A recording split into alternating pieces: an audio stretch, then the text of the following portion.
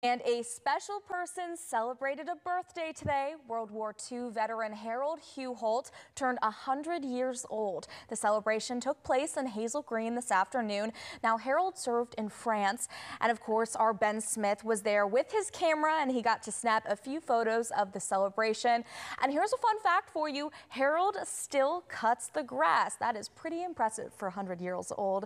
Happy birthday to you, Harold, and thank you for your service.